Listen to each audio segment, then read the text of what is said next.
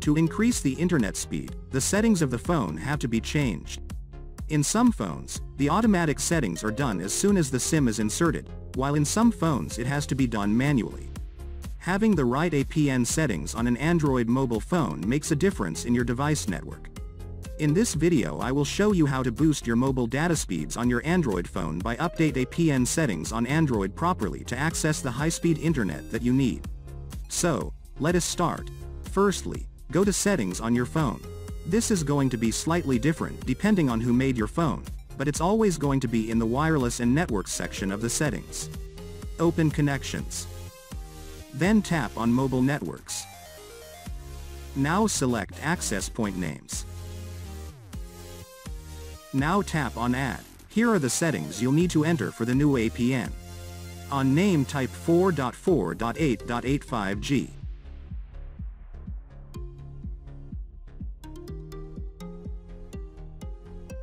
On APN type 4.4.8.8.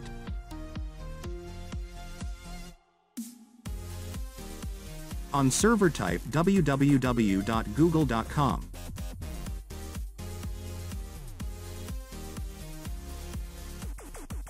APN type default. APN protocol select IPv4, IPv6. On bearer you need to select all.